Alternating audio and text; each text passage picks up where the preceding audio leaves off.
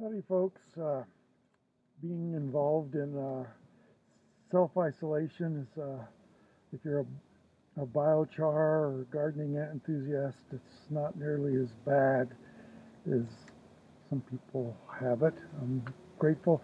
I thought I'd show uh, you some tips with the biochar uh, experiment I did. Um, I I did three uh, types. Uh, this was, uh, there's six rows here, three trials. So I've got a row of, uh, this first row here is uh, the biochar at the bottom of the pit with some, uh, the baked soil and garden soil mix. Probably, you know, I'm guessing about half and half. Then the next one is uh, next two are different biochar batches, basically pure biochar. And you can see germination did not do that well. Um, I've got one plant that actually, uh, one corn plant that grew.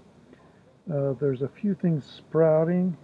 I've got a radish down here, uh, another radish over here, but everything else has stayed. Uh, this, the ones that did well, uh, the mixture, uh, it was an accident, but I spilled some um, uh, flaxseed uh, into it and just used it anyway. And so I've got all this flax that's coming up with it.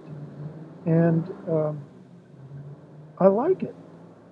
Uh, it's a nice companion plant, and in fact, uh, in all of these the trials, I put uh, a mixture of five different seeds. Uh, there was uh, radish, uh, different types of beans.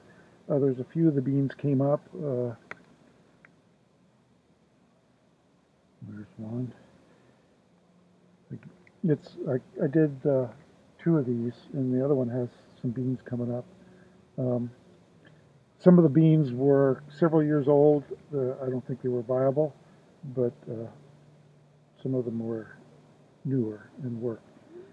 Um, but there's uh, radish, a couple types of flowers. Actually, let's see, I'll pull that other one. It's got flowers in it.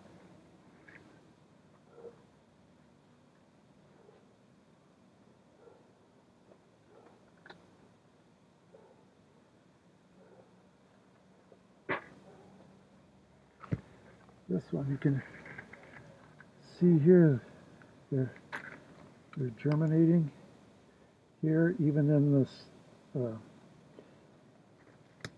just pure char basically. And then uh, this one has a few more radishes. Here's a bean a bean plant. Here big leaf. So one of the beans came up. That was a cranberry bean, I believe. Um, and, and there's more of those flowers in, in here in this other section. These are, are yellow flowers, starts with a C. I'm going to have to look up the name. I'll, I'll put it in the text uh, um, down below. But uh, just wanted to, to let you know I, uh, I really enjoy experimenting. And if I can get five or six different experiments in one experiment.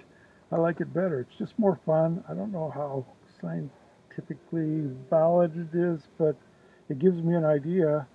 And, and I like the idea of using flax in combination with things like uh, corn and squash. Big seeded uh, plants that will get up ahead. Um, the flax itself is fairly uh, uh, tall. They don't cast a big shadow. Uh, I've got some growing in my garden here uh,